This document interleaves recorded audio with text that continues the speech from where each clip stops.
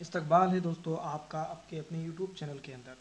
Video में आगे बढ़ने से पहले मैं नया आने वाले दोस्तों से कहूँगा कि वो हमारे यूट्यूब चैनल को सब्सक्राइब कर ले और साथ में बेल के आइकॉन को भी दबा दें, ताकि आने वाली वीडियो का नोटिफिकेशन आपको मिलता रहे और आप हमारी नई नई वीडियो जो हम डालते रहते हैं उससे अपडेट होते रहे।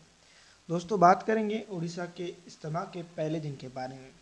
तो मैं आपको बता दूँ, बाद नमाज़ जुमा से जो है तो ये इज्तम शुरू हो चुका है और हज़ारों की तादाद में बंदगान तोहीद यहाँ पर जो है तो जमा हुए और उन्होंने नमाज़ जुमा अदा की।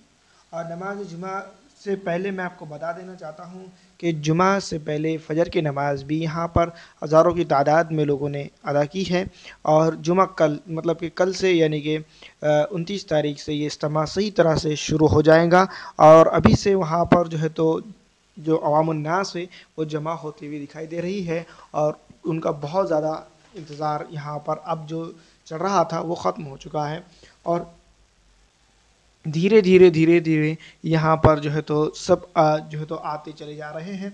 जुमा की नमाज़ का जो है तो मंज़र बड़ा ही दिलकश और पुरसर था। जहाँ पर, दोस्तों, मैं आपको बता दूँ, उड़ीसा के अंदर इतना बड़ा मजमु शायद ही उड़ीसा की तारीख़ में एक साथ जमा हुआ हो। मैं आपको बता दूँ कि हिंदुस्तान के अंदर अब जो इज्तम हो रहे हैं, पहले भोपाल के अंदर ही इज्तम हुआ करता था, लेकिन अब भोपाल से बड़े बड़े भी इज्तम पूरे हिंदुस्तान के अंदर होते हुए दिखाई दे रहे हैं।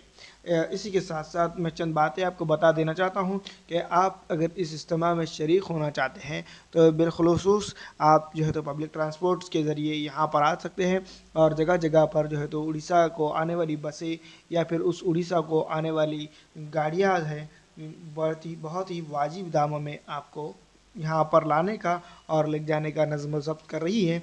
तो इसके ऊपर ख्याल रखें कि आप यहाँ पर आने के लिए ज़्यादा आपको तकलीफ़ की ज़रूरत नहीं होगी। इसी के साथ चंद बातें मैं आपको और यहाँ पर जय नशीन कराता चलूँ कि उड़ीसा के अंदर जो है तो इज्तम की शुरुआत हो चुकी है और पहले दिन से ही यहाँ पर लाखों की तादाद में अब जो है तो बंदागान तोहद जमा हुए थे।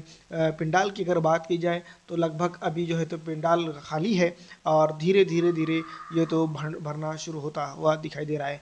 हल्के जात की अगर बात की जाए तो अपने हल्के के मुताबिक ही यहाँ पर आकर बैठे। वज़ू खानों की अगर बात करें तो वज़ू खाने भी बहुत ही बेहतरीन तरीके से बनाए गए हैं और यहाँ पर जो है तो वज़ू करने वाले लोग का तकरीबन अगर बात की जाए तो कई हज़ार एक वक्त में यहाँ पर वज़ू कर रहे हैं।